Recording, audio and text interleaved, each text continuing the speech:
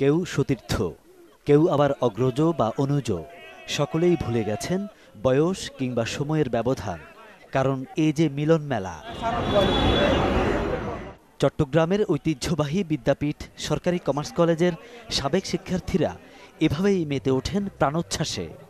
নতুন পুরনোর মেলবন্ধন ঘটাতে সকালে নগরীর জিসি এলাকার একটি কনভেনশন সেন্টারে আয়োজন করা হয় এই পুনর্মিলনী অনুষ্ঠানের।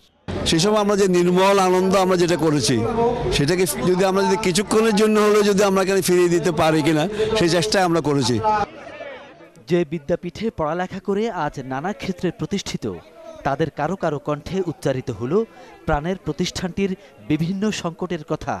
সম্ভাবনাকে কাজে লাগানোর প্রতিশ্রুতিও দিয়েছেন কেউ কেউ।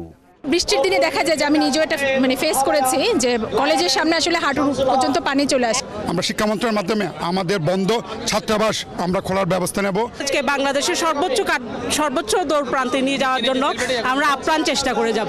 যত ধরনের উন্নয়নমূলক কাজ আছে আমরা সেগুলো উন্নয়নে অংশীদার হতে চাই।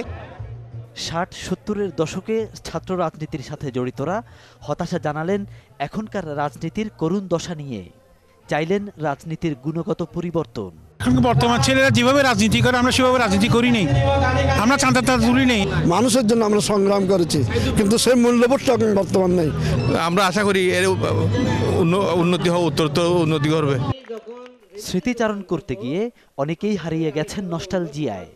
নিজেদের খুঁজে ফেরার চেষ্টা করেছেন মধুর স্মৃতির ভাণ্ডারে।